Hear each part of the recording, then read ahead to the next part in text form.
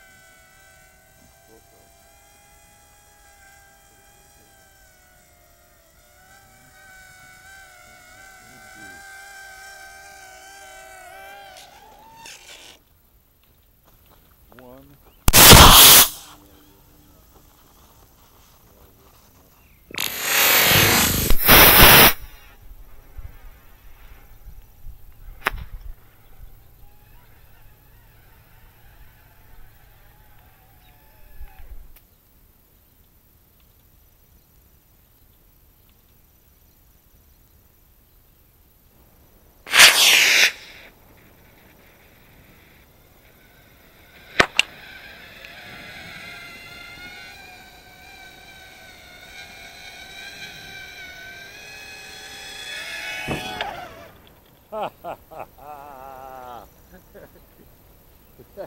is cool. One.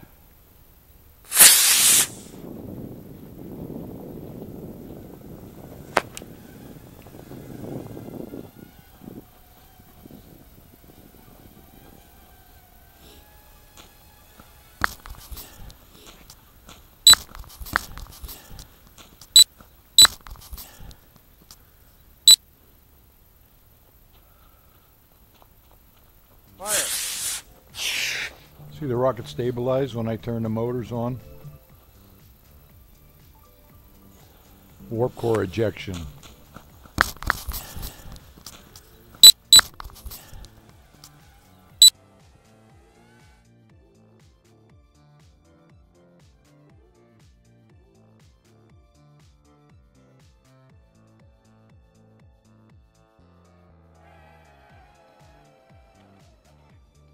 yeah, let me try that again.